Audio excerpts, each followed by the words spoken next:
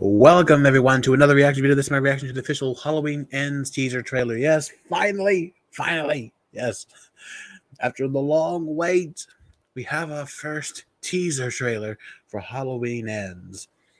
Now, today is technically the 19th. It was supposed to be coming out tomorrow, but again, humanity is full of assholes, and some people leaked the fucking trailer early. people are just trying to learn.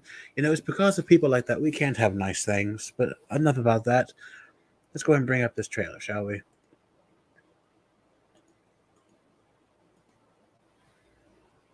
Yes. A minute and 16 seconds is about, uh, so I believe this may be the Comic Con trailer that they showed before that we haven't seen at all.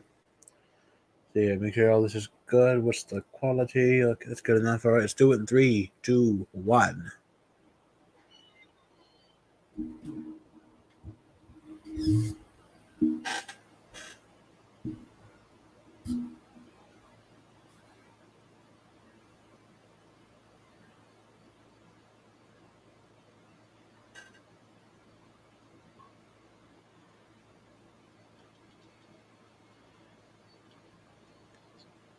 We're hearing some breathing.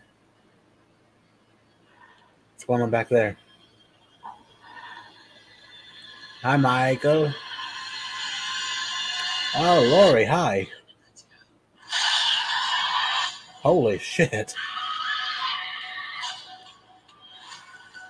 Their saga ends.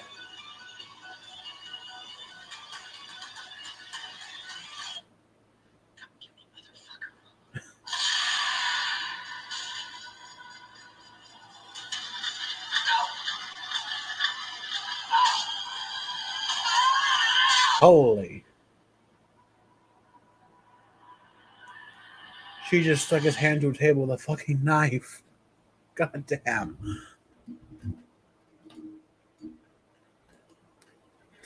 Well, I mean, didn't show a lot, but it's a teaser, so what else would I expect?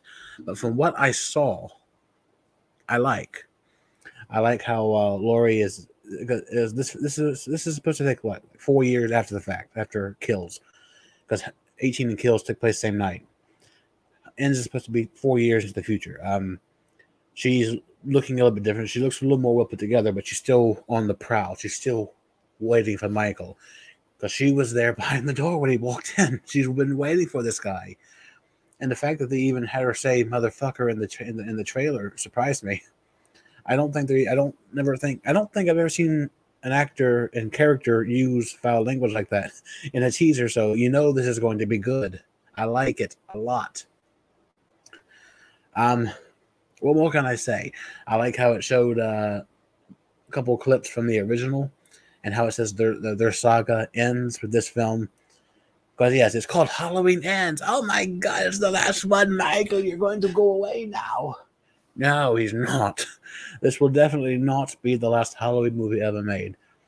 It could very well, though, be the last one that focuses on Laurie Strode.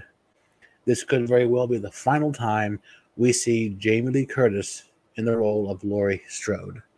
And if so, I think ends, if it's done well, could be a proper send off, a great swan song for the character. And for the franchise to finally move on in a new direction I've had a couple of different ways in my head to where this franchise could go after finishing off one of the storyline, one of these, one of these goddamn storylines. And I can't wait to see what the future holds for this franchise, and I can't wait to see the official trailer when they put that out.